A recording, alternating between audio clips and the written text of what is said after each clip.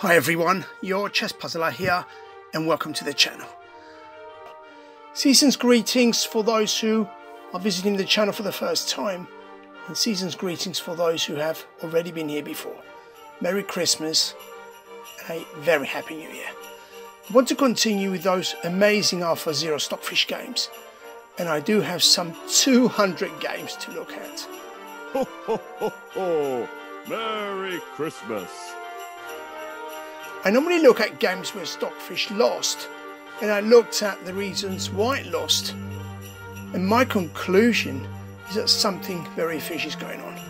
You only need to look at a few of the games I featured to see why these games are so fishy. I want to deviate from that for now and look at how easy even Alpha Zero can go down. And I hope this is not going to take that long to look at.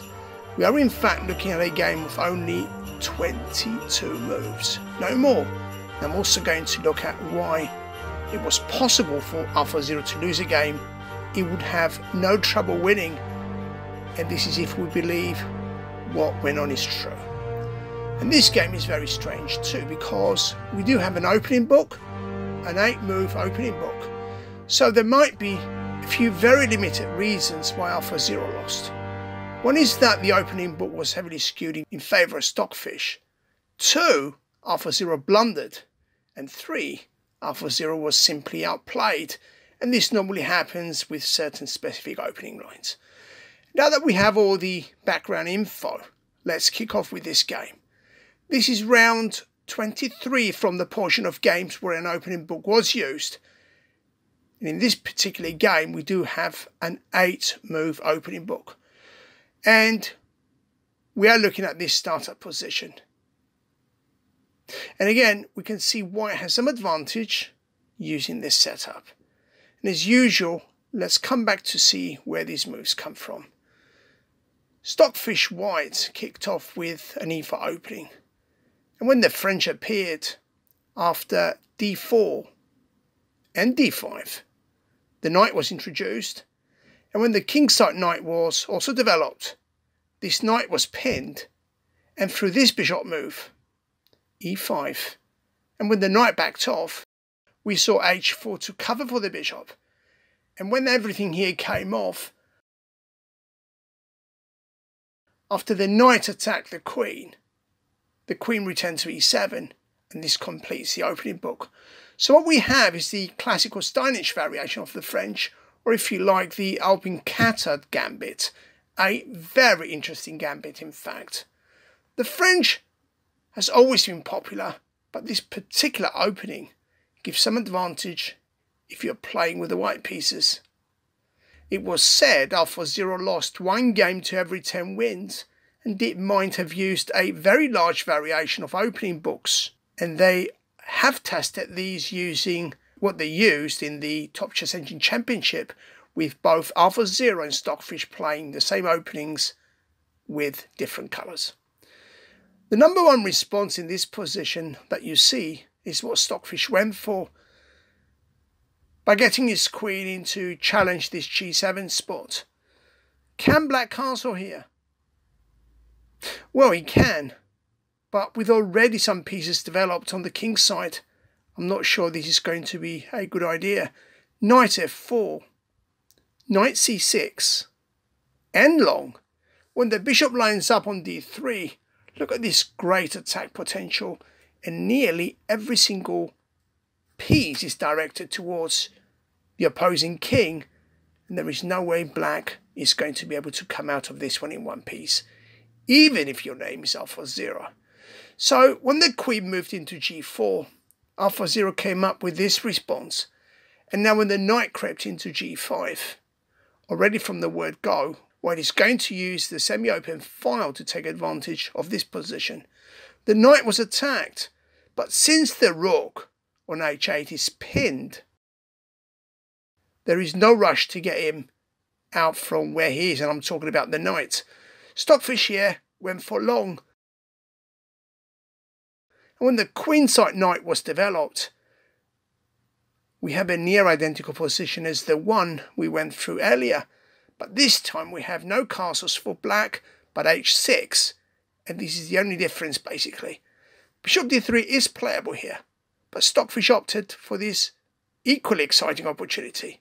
He got the knight into b5 looking to fork the king and rook. But how dangerous is this attack from Stockfish and is there anything Alpha Zero can do to bypass this problem? King d8 not only looks, but it is bad, so let's forget this move. Queen d8 is even worse, so let's forget this one too. The two other possible responses is to go for a knight move to either b6 or f8. And this forking problem is resolved. So Alpha Zero went for a knight move. The chess terminator chose for this type of response by getting his knight into b6. And whatever white does, you can then have this knight kicked and its problem solved with this case on c7. If only chess was that simple though. Stockfish here went for a rook lift. But it wasn't the knight that was attacked, but the queen on the other side of the board. Now, for those who like a good, strong challenge, give this position some deep thinking and try and figure out what possible responses might be there for white. Do you move the queen out of harm's way? Or is there something else in this position that can warrant a different type of response? Stockfish never went for this move. But what happens if you line up your rook on f3 and if now the queen is taken? This is what you have coming. Rook takes check when the king escapes to the only available spot on the board. Boom! Like a rocket. Rook takes and when the queen captures. After the knight takes, this game is pretty much over. Thus only white is all over the place. He also has great piece mobility and if you see how black has it. Both knights have it very bad, but even worse are the state of the bishop and the rook in the corner. So there is no way you can get them into the game before white executes. Y-O-U. But let's come back to see whether Stockfish went for this or any other response. What do you think, guys? It in fact did exactly that. Rook f3 and then when the knight was attacked, it seems Stockfish doesn't care too much about the knight. He went for a queen move. And this is a problem that you have with such a board position unfolding. Take this knight, and it might be too late. Using the knight on g5, you want me to point out the obvious. After rook takes f7, you can either drop the queen or have her saved. Queen d8 will get this rook to move east of the board. Or you can even afford to remove b5. It seems this rook move to g7 looks slightly stronger. But let us go for bishop takes b5 if you like, just to be able to pin the knight. And if the rook gets saucy and removes a2, after the king goes after him, and rook back to base, bishop d3 works, queen f4 works, and black goes absolutely nowhere. But we do need to come back to this game to see how it really went. Alpha Zero never removed the knight and went for this very mysterious knight move to the 8. But how mysterious is this knight back into the 8? Given that it protects f7, it does not look that bad after all. But Stockfish 8 loves this response because his own eval shoots up and this is how the engine took advantage. Knight back to c3, got the other knight to, to move into d7. And though this looks like black is out the woods, Stockfish has a huge advantage here. He went for this bishop move, which was begged to be played.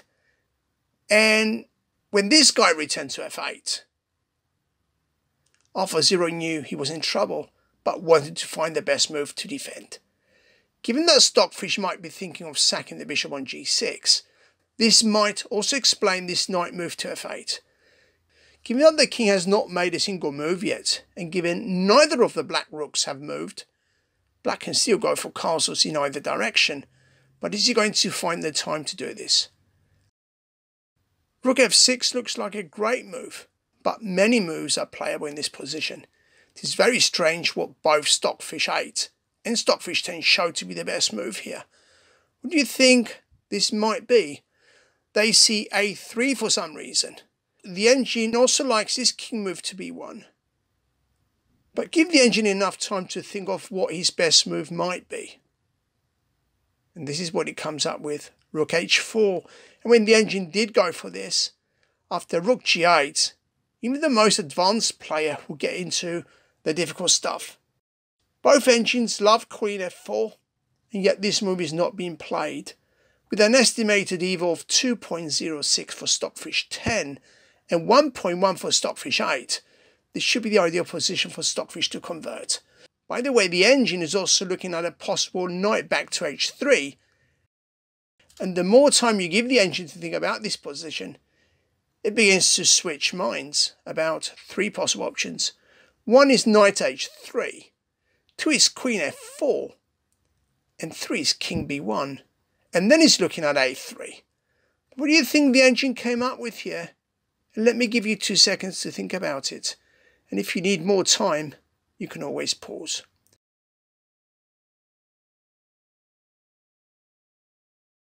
If you have found the move that was mentioned earlier, take back and try again. Anyone found this tremendous and rather impossible move? And this is it. Offering the bishop, and this is why I believe Stockfish is very hard to be beaten by the score it did by Alpha Zero. And maybe what is more surprising is to see how Alpha Zero reacts here. He did even take the bishop, but went for a queen repositioning, but for sure, this was not expected. Why not? Because Stockfish's eval shot up by another three whole points. So we know this Alpha Zero response therefore counts for some type of blunder. Given this position is difficult enough, Stockfish adds even more pressure here, and this is something the engine has no trouble doing. He went for another impossible move, and before I show you, if bishop c4 was hard enough, what do you think of this one? Knight e4 and Stockfish wants Alpha Zero to grab either the bishop or the knight. He grabbed the knight, and when the knight recaptured, it's all about this bottom f6, and right now there is not even time to remove d4. Alpha Zero summoned the knight into h7 to protect f6, but what is wrong with this move, and why do you think Alpha Zero resigned after Stockfish went for this move he did? And let me get you out of your misery in case you wonder what Stockfish did here. Rook takes h5. Take the rook, and the queen comes in with a check. When the knight falls, there will be no need to carry on. But what if the queen removes d4? After queen g4, if you take the bishop, the queen can also drop but don't rush things. First there is rook takes knight, and though there is this queen check, after king d2, there is no way you can protect f6, and this is why Zero resigned. This is one of the few games Stockfish is said to have won a game, and certainly one that no blunders were actually committed. In fact, there have been some very weak moves, but if you need to point any fingers, we have to point them to the other side of the board. Move 12, knight b6, was in fact the beginning of the end file for 0. But if you move here,